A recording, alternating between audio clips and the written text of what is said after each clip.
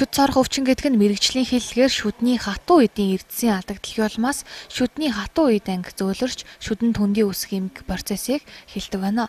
Тодорхойлбол шүдний цорол үүсэх нь шүүлс түүний найрлах хэмжээ, хоолтын буруу дэглэм, цаг хугацаа буруу дадал зуршил, шүдний өнгөр шүдээ хэрхэн зөв угааж байна гэдгээс хамаардаг. Тэгвэл сүүлийн жилүүдэд бага насны хүүхдүүдээр тусмаа 2-оос 3 насны хүүхдүүдийн хувьд шүд цоорох байдал нэмэгдсэн. Тодорхойлбол дөнгөж сүүн шүд цухаж байх үед шүдний цооролт өртөж байна. Энэ нь хүүхдийн ерөнхий биеийн байдал муу, зарим эмийн хордлогын гаралтай үүсдэг тохиолдол байдаг. Гэвч ихэнх тохиолдолд эцэг их халамжлагчийн буруугаас болдог байна. Өөрөөр хэлбэл хүүхэл хүүхдийг ундахт нь хөхийг нь аманд нь хийж унтуулах, ундаа шүүс зэргээр унтлах, хоолнд нь чихэрлэг хүнсний зүйл ихээр өгөх зэргээс олж бага насны хүүхдийн шүдийн хэмжээгээр цоорч байна. Сүүн шүдний ер нь гол онцлог нь бол маш нөгөө хорхоо эдэлтэй явц нь бол маш түргэн байдаг. Ер нь бол харалж ихрлээл бол эмчилт хандуулах ёстой. Ер нь тэр цоорлоос сэргийлэх ломб гэж бид нар нэрлээл байгаа л да. Тэр л цоорлоос сэргийлэх ломб хүн болохоор хүмүүс болохоор зэрэг нэг цэнхэр дүрхлэг, нэг хар юм дүрхчдэг. Энэ бол Японы материал. Тэгээ японочууд болохоор яадаг гэвэл хүүхдтэй бол багаас нь эхэлж анхаардаг. А тэрийг бол ерөөсө хүүхдийн шүд харлаа л бол тэр хүүхдээ шууд эмнэлэгт очиод тэрийг дүрхүүлж идэг. А тэрийг бол бид нар бол зөвлөхтэй бол 3 сартанд 3 сар тутамд дахин төрхүүлж иж бэхжилтийг явуулж явах хэрэгтэй.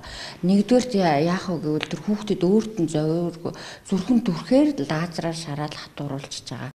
Шүдний цорлыг гүний хэмжээгээр нь толбон цорол, өнгөт цорол, дунд цорол болон гүн цорол гэж ангилдаг. Толбон цорлын үед өвчтөнд ямар нэгэн зовиргүй зөвхөн урдчлан сэргийлэх үзлэгээр илэрдэг бөгөөд шүдний бүрэн бүтэн байдал алдагдаагүй цагаан болон хар өнгөтэй тол байдаг. Гэхдээ альч цорол архаг нь удаан явцтай хурц нь хурдан явцтай учир аюултай байдаг. Тиймээс эцэг эхчүүдийн хувьд хүүхдийн шүдэн сафроид буюу сүүн шүдний лом түрхүүлдэг. Энэ нь дараагийн шүд цоорлоос сэргийлдэг давуу талтай. Мөн хүүхдийн сүүн шүд цоорсон тохиолдолд шүдийг нь авахуулалгүйгээр эмчилгээ хийлгэж байх шаардлагатай юм байна. Учир нь албан хүчээр шүдийг нь авсан тохиолдолд дараагийн шүд буюу байнгын шүд дургалтанд нөлөөлөх талтай. Тэгэхээр нийслэлийн хэмжээнд 8-аас 12 насны хүүхдүүдэд бол шүд цоорл болон амны хүндийн эрүүл ахуйн чиглэлээр судалгаа хийхэд за 89% тодорхой хэмжээгээр амны эрүүл ахуйгаа одоо сахиагүй шүд цоорл шүд хорхоодох өвчтэй байна гэсэн судалгаа гаргажээ. Тийм учраас сүүлийн жилүүдэд энэ бага насны хүүхдүүдийн шүдний цоорл ихээхэн давмгаалж байгаа учраас цаашдаа бас өөрт тохирсон шүдний сойцыг хэрэглэж мөн түнчлэн одоо унтахынхаа өмнө эсвэл чихэр эзнийхаа дараа сайтар шүдээ угааж амаа зайлж явахыг мэрэгчлийнхэн зөвлөж байна. 6-аас 8 насны хүүхдийн дунд шүдний өвчлөл 89% гарсан.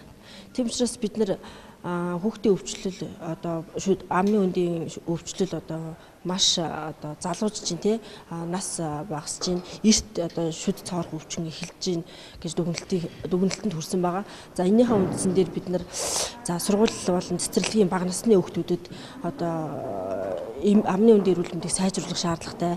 За энд гол үүрэг гүйцэтгэдэг гүйцэтгэж байгаа сургууль цэцэрлэгийн багш нар болон за эмч нар одоо нийгмийн ажилтан арга зүйч нарыг сургах шаардлагатай гэж үзсэн байгаа.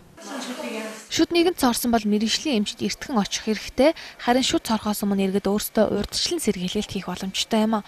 Тодорхойлбол хагас жил тутам эмчийн зөвлөгөө авч байх, шүдээ унтахын өмнө болон хоол эзсний дараа байн угааж занших, витамин Д, кальц хэрэглэх, сүүн сүү бүтээгдэхүүн хэрэглэх шаардлагатай юм а. Түүнчлэн хамгийн гол нь өөр тохирсон зөөлөн үстэй сойцыг хэрэглэж занших шаардлагатай юм а.